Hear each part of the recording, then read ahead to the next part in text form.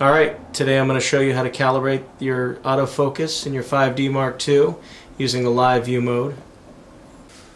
First thing you're going to want to do is hang a picture on the wall, something with uh, a lot of text on it, some bolder white text around black, different uh, different uh, different sizes, but make sure that uh, they're at the same distance, it's not sticking off the wall. You're going to want to compare what the autofocus system says is in focus versus what you see on the live view. The live view is what's important because ultimately that's what's getting captured on the sensor.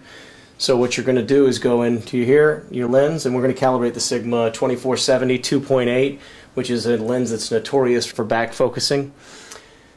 And I've already calibrated this lens. We'll just go through the steps on how to do it. so what you're going to do is first of all put your head up, look at your viewfinder, and lock in a center point autofocus. Turn your live view on turn your autofocus system off. Usually it's on the lens, for Canon it is. You use this button right here. This will give you a 10x or pixel for pixel zoom.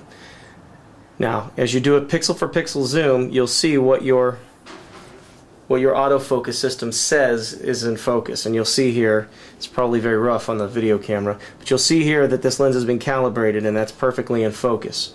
If you turn it just slightly, the image goes out of focus. So let's say you have something like this. It's a little bit uh, back focused. In order to change this, you'll, what you'll do is you will turn your autofocus back on, which will zoom out of your live view. Turn live view off. Go into your menu. Go into your functions menu. And uh, right here, you have autofocus and drive which was focus or which was FN2 or FN3 autofocus and drive.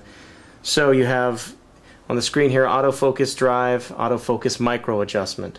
You're going to adjust by the same amount for all lens or adjust by lens. I believe that the 5D Mark II can remember up to 99 lenses. I could be incorrect. It could just be 10.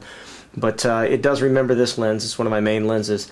So every time this lens gets put on my camera, it adjusts the autofocus by plus 15. That's how off this lens is. Um, but again, it is a good lens, so that's why I continue to use it. Um, so let's remember 15, and uh, so you hit info to make changes to it. Let's remember 15, and let's go to center, which is zero, which is the lens out of the box.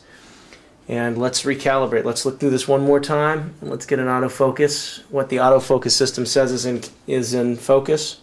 Let's. Uh, go to manual. You have to do, in order to do the 10x zoom, you have to make sure the lens is in manual focus. Turn the live view back on, and we go to the 10x, and as you can see, that is out of focus. Each, you probably can't see in this video, but each word is slightly, each letter slightly blurred. So when I turn it forward focused just a little bit, each word becomes very sharp.